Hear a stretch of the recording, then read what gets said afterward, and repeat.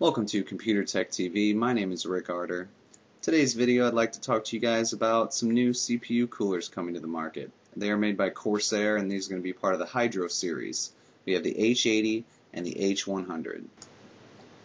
If you're unfamiliar with the Corsair H series or Hydro series um, water cooling systems, these are basically all-in-one pre-assembled closed loop cooling solutions for your CPU. Basically, you just put it on your CPU, install the radiator onto your fan mounts, install the fans, plug in the connectors, and you're good to go.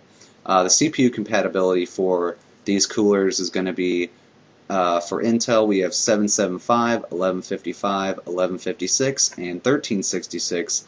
And for the AMD side, we have AM2, AM2 Plus, AM3, and I'm more than likely sure the new AM3 Plus CPUs will be supported as well.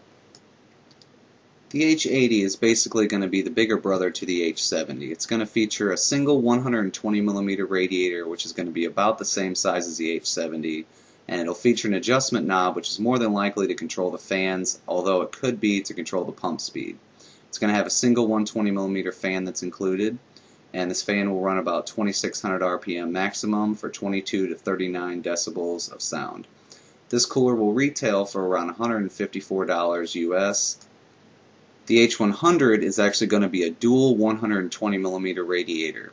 The pumps are going to be the same on the H80 and the H100 as the H100 will feature the same adjustment knob which will probably more than likely be for adjusting the fan speeds.